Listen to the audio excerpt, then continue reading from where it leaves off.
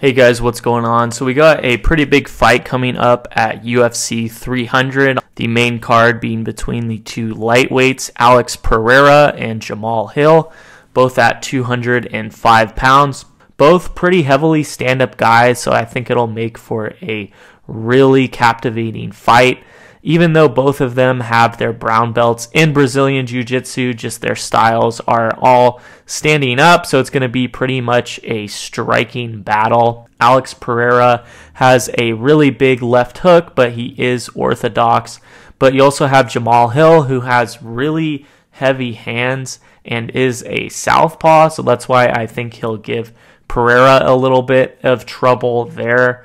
Um, and then some notable wins, starting with Jamahal Hill. Last fight beat Glover Teixeira, which is now Alex Pereira's coach. So I think that will be a little bit more in Alex's favor because he will have that inside scoop on what it's like to face Jamahal Hill, but also beat Thiago Santos and Walker. And then for Alex Pereira, big wins recently against Sean Strickland Israel Adesanya, and then moving up to light heavyweight, beating both Yan and Yuri. And he has became the champion at two divisions pretty quickly, which I think is really impressive. So he has a lot of momentum. And then going back to their fighting styles, I believe for both of them, they don't have any sort of takedown attempts. Obviously, given Pereira's kickboxing background, he doesn't really have as much experience with grappling. Did lose his first mixed martial arts fight to a grappler, but since then he's really perfected his takedown defense. Hill also does a lot of stand up. He also doesn't have any takedown attempts that I know of since fighting in the Dana White Contender Series. So I think most likely, looking at this from a general standpoint, I don't think there is going to be a decision. So just going to play through some different scenarios that I think could happen for the fight. I think they're both going to come out fairly aggressive, a lot of punches being thrown. I think early on, Alex Pereira is really going to try to establish his kicks but I don't think this is going to be as effective against someone like Jamahal Hill because he is a southpaw. Usually, leg or calf kicks are a lot better when you're facing someone that has the same stance as you, just because that leg's sticking out. Uh, so it's going to be harder for him to wrap around. But I have seen in the few guys that Pereira's faced that have switched over to southpaw a little bit he has then gone for that shoulder since that strong hand left shoulder is a little bit more vulnerable when a southpaw is standing against an orthodox. So I think he'll transition into that. And I think that could have a huge effect on the fight because it could kind of slow down Hill's big left hand. And then looking at Hill's early tendencies, he really likes to walk forward. Both guys can end it pretty early, so I think it's one of those things where you can't really look away. Hill's probably going to press forward. I don't know if this is going to be a good strategy against someone like Alex Pereira because he is such a good counterpuncher and has really caught a lot of guys trying to come forward on him. So I think kind of how all of this plays out is really where the difference is going to make in the fight. And this leads to some big questions, such as how will Alex Pereira's chin hold up? Obviously, the knockout loss against Israel Adesanya.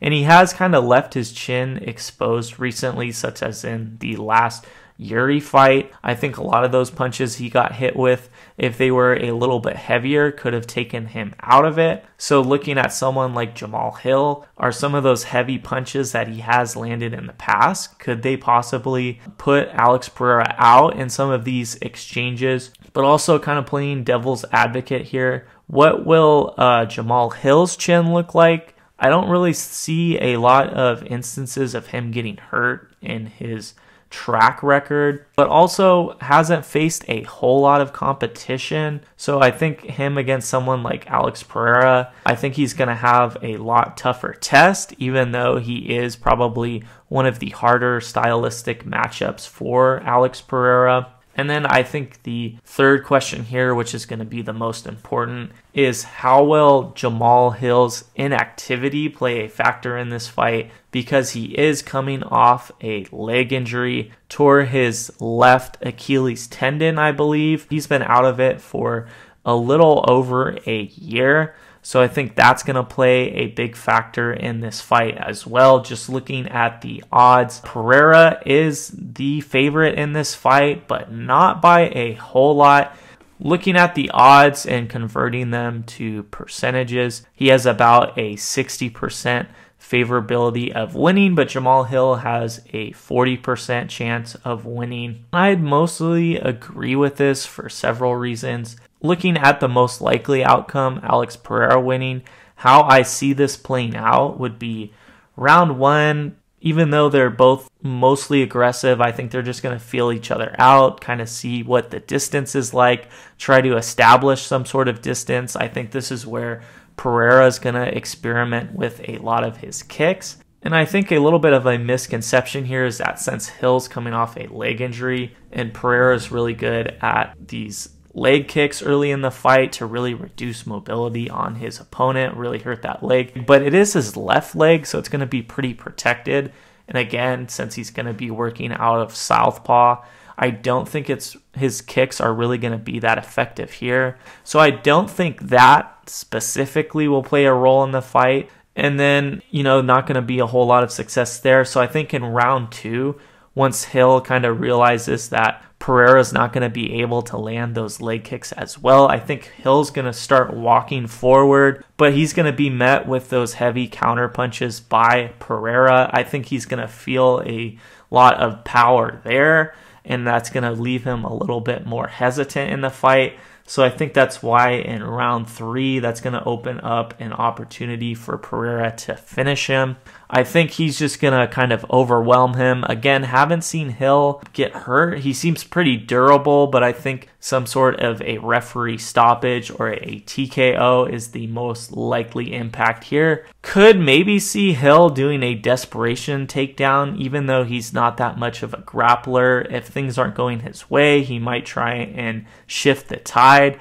But I think that's only going to work against him because Pereira can throw a flying knee, can catch him coming in, or if he gets desperate, starts to swing wildly. In some instances in the past, he has really been able to beat guys to the punch. I don't think he's going to be able to do that against someone like Pereira because he's really short and snappy. So I think around round three is when Pereira would likely finish him. Again, playing devil's advocate, looking at another option here. This would be how I think Hill could win. Starting with round one, both are probably going to feel each other out. Kicks are probably going to be ineffective due to that southpaw stance. Round two, I could see Pereira landing some counter punches when Hill tries to walk forward. But I think if Hill is able to counter a little bit, don't know how his heavy punches will face against someone like Alex Pereira, and especially if he does drop him. Hill has a really good ground and pound, so I think Hill could really put him out quickly if Pereira got hurt by something and fell down. Also has really good knees if they end up clinching, so I think it really could turn at any moment, and Hill could definitely be a successful underdog. So I could see Pereira really getting hurt in round three, and even if he survives that, I think with Hill's rust, he's maybe not as sharp, maybe not as powerful, maybe doesn't have as much timing. So Pereira might be able to survive, but I think he'd be so hurt that by round four, Hill could finish him.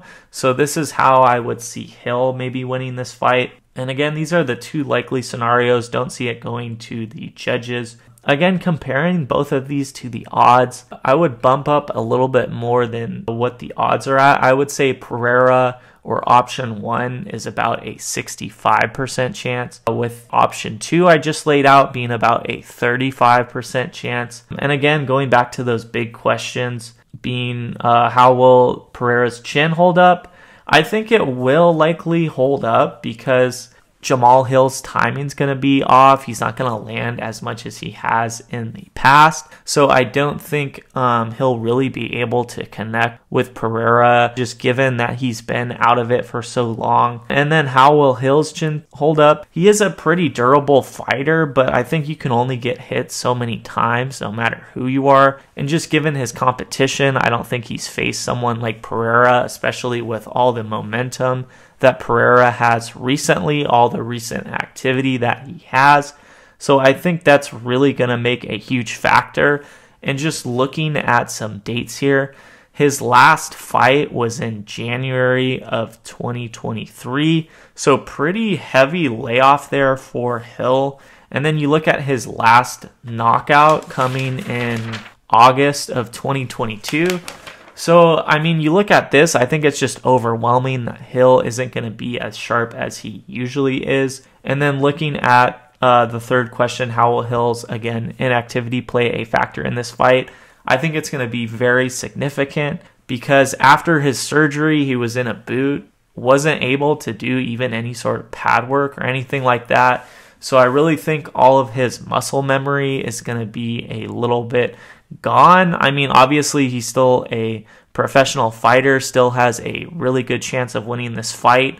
But compared to where he was before the injury, I think there is going to be a difference there. If his Achilles injury never happened and he was pretty active leading up to this fight, I would probably would say it's about a 50-50 chance uh, between these two guys. Maybe I would even favor Hill a little bit but I think that injury and that layoff is what is going to make the difference here. And those punches that would have landed from Hill aren't going to land, aren't going to connect as much. And then the punches from Pereira are really going to hit and do some damage. I think Pereira is going to hang on to the belt for now, but feel free to let me know how you guys think this is going to play out. Really interested to see this fight. I appreciate you watching, and I'll see you later.